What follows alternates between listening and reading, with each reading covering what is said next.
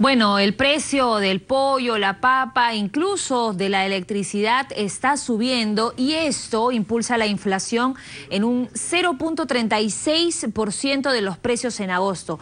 Este es su mayor nivel en los últimos cuatro meses. Esto lo ha informado el Instituto Nacional de Estadística e Informática. Veamos.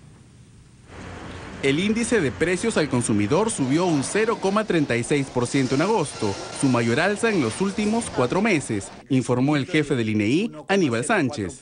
Sin embargo, la inflación anualizada se desaceleró a 2,94% y se mantiene dentro del rango meta del Banco Central de Reserva. La inflación fue impulsada por el alza de los precios del pollo, la papa blanca, la papa amarilla, la electricidad residencial y el bonito, esto fue compensado por la caída de los precios del choclo, la cebolla, la fresa, el tomate y el pasaje en bus interprovincial.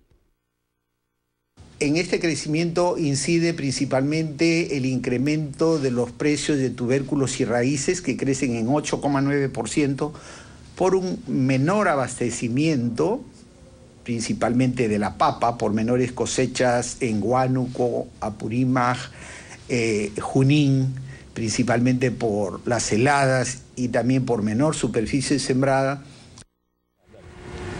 Otro factor que también influyó en los precios fue el incremento del tipo de cambio del dólar en 1,04%, aunque según el INEI, su incidencia fue menos importante que la de los productos locales.